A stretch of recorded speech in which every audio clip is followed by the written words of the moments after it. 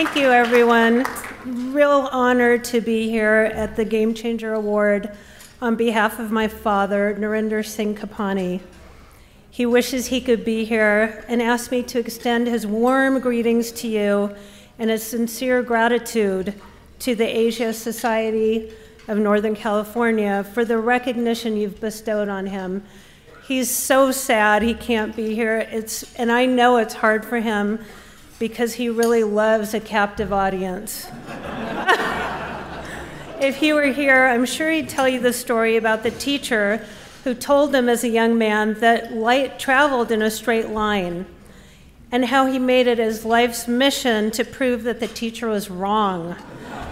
he was convinced that life could in fact bend, and his determination to show just how it could do that led him to the breakthroughs that helped give birth to the field of fiber optics. He was initially interested in medical applications using fiber optics and lasers for surgeries, and then branched out to work on military and space applications for the Defense Department, data storage, telecommunications, and computer networking.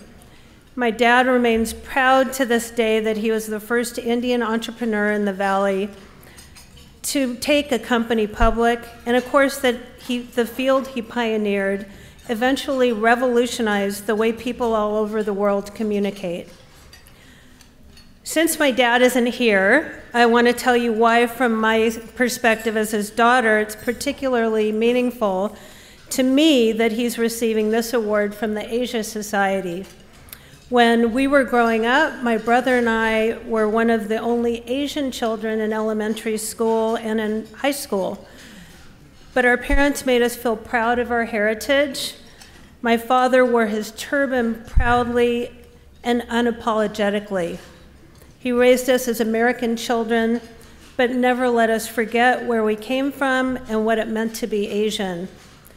That is why more than 50 years ago, my mother and father, Satinder Kaur Kapany, the light of my father's eye, started the Sikh Foundation, which promotes the education and understanding of Sikhism through art and publications.